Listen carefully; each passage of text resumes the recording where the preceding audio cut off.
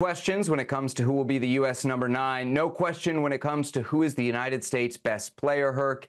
It is no doubt Christian Pulisic, who just keeps lighting it up for AC Milan. He scored again, this time on Friday, as Milan beat Lecce in Serie A action 3 to nothing.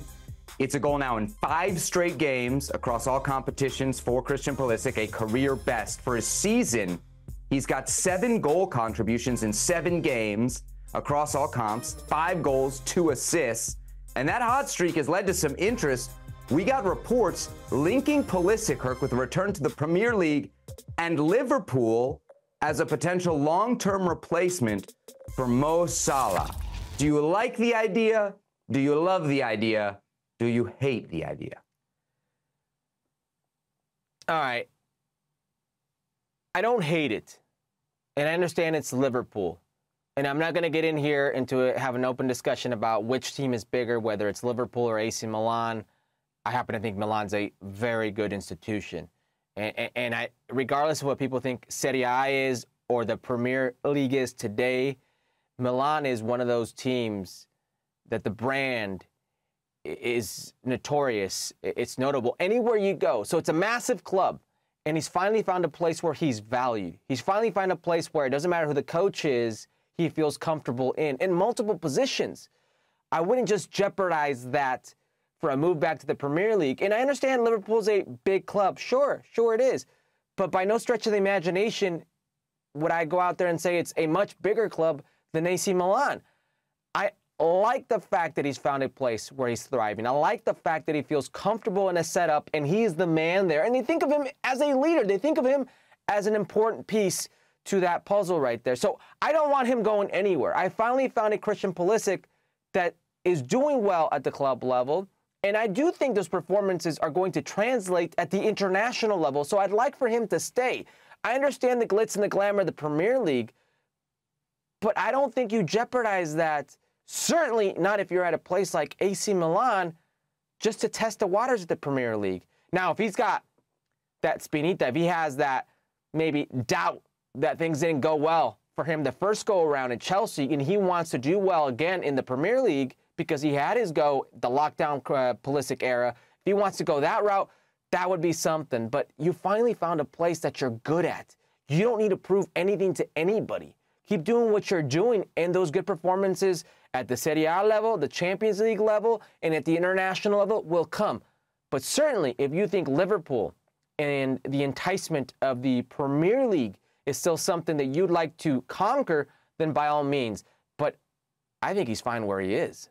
Yeah, he doesn't need to leave Milan. And could you imagine the pressure following Mo Salah being the guy with the replacement tag of being Mo Salah's replacement at Liverpool? He went to Chelsea. He had that big price tag, man. That was that was a lot of money, Herc, and that was a lot of pressure. And we know it didn't work out at Chelsea. Maybe not because Christian Pulisic wasn't built for the Premier League. Maybe not because he wasn't built for a club like Chelsea but it didn't work out. And to your point, man, he's having such a, a great moment here with AC Milan. You would just hate to see him kind of whisk that away. There is the temptation, I think, to see him maybe paired with Luis Diaz. Could you imagine the the one-on-one combination of those two guys on the wings? That would be very dangerous for Liverpool.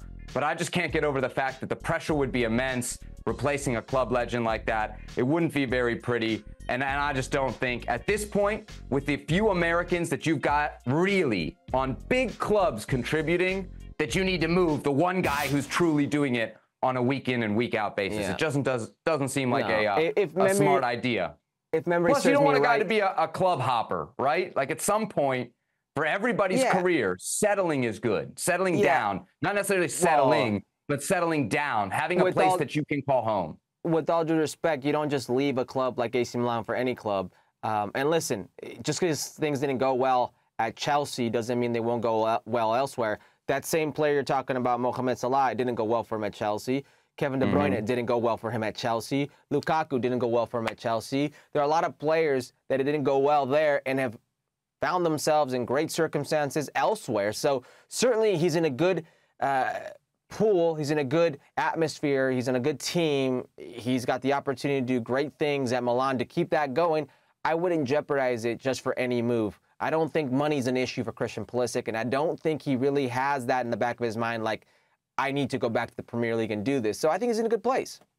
There you go. So uh, Christian Pulisic in the moment, right now, as we speak, an AC Milan player, and they got a big game coming up tomorrow in the Champions League, Herc, uh, taking on Bayer Leverkusen. Quickly, how do you think that game will go? Very specifically for Christian Pulisic, do you think he can make it six in a row? Right now at ESPN Bet, he is plus 320 as your anytime goal scorer.